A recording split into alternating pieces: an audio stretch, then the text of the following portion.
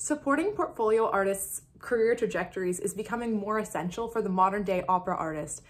It's a bit of an outdated concept to think that, oh, you're going to make all your money out of opera performance, especially when our world has just seen a global pandemic when that's not been possible for even the brightest stars.